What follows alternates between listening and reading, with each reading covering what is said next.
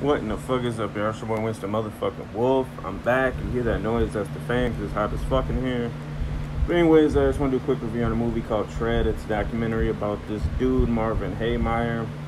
Uh, he was in some little town in Colorado and owned his own little uh, welding shop and was trying to buy some land. And the good old boys and the people that had been there forever didn't like a dude who wasn't normally from there, a transplant, to come in and to buy land and to try to, you know, make a life, live the American dream. And they were like, fuck it. We ain't gonna let you do this. So we're gonna make shit as extremely hard as possible for you. So basically, they didn't want him to uh, buy land and start setting up shop. They wanted him to just stay in his little lane, make his little living. They didn't want him to step on the toes of other entrepreneurs in the town. So the city hall various other organizations decided to make shit hard for him every time he tried to get permits, shit like that. The sewage thing of him having to pay to get a sewage line and shit like that, I think that was the main talking point. Um, he was trying to start, bought some land, was trying to start another business in another plot of land, or just widen his business, make it bigger in another plot of land. So the motherfucker just loses his fucking mind, auctions off all this shit, had a bunch of snowmobiles, tried to auction off his fucking property, all kinds of shit. Two things he couldn't fucking auction off that he got absolutely no bids on was the property and a giant bulldozer. This dude being crafty in welding, amongst other things, and he's pissed off and he's done lost his mind. He decided to take the giant bulldozer. And this is not one of them little fucking, one of them little funny style ones that you see when they're building your house. This is like some industrial goddamn tank shit. So you had that, had the had the will to do something, had the anger, had the know-how, builds this bulldozer up. He fucking welds five inch, or I guess no, not five inch, like half inch steel plating. Puts cameras all around. Fucking in between the steel plates, puts concrete, makes a giant fucking tank, and he's out to destroy the property and anything that the people that opposed him made his life hell. He's out to fucking destroy anything they have. Their houses, their fucking businesses.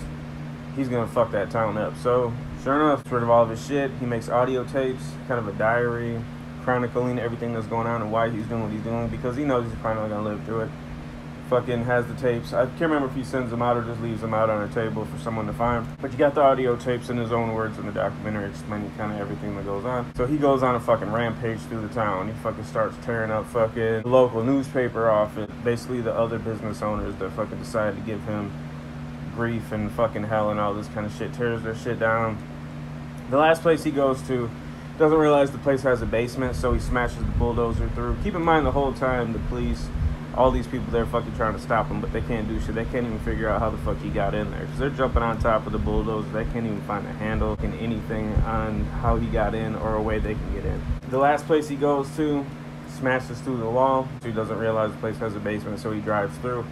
The right half of the, the bulldozer with the track goes into the basement. He gets stuck, sits there for a while, gives the chance SWAT team and all these different organizations to fucking mobilize, set up shop around them, sniper units, all this kind of shit. So basically, he has a gun on the inside. He knows how it's going to end anyway, so he just kills himself. Takes him a couple days, but they get inside. They find his dead body. They see that he had a fucking 50 cal that he was shooting at him with through a little fucking porthole. Killed himself with, with a 357 Magnum had little monitors for the cameras that he had set up on the outside of the tank so that he could steer around without having to look out and you know compromise himself through for snipers by looking through a fucking porthole. He just had cameras that he could use to steer. And it's basically just a fucking story of a dude that just gets pushed around by the fucking system and because he doesn't come from a rich powerful family in that area and that type of shit you've seen this shit in movies heard about it in real life there's just certain families that are entrenched into certain fucking in, in certain areas. And they're always gonna run shit because they've been there forever. They set up businesses. They're fucking they're just always gonna do shit. And if somebody else comes along and fucking tries to you know fucking up in the apple cart they ain't fucking having it. Because they always want to be the ones for that town. That town or that area. So goddamn dude was not having it. He was like fuck this. I'm fucking shit up. Fuck you suck my dick. No one can stop me except for himself. And that was the movie called Tread. It's a documentary. Check it out. It's your boy Winston Motherfucking Wolf. I'm out.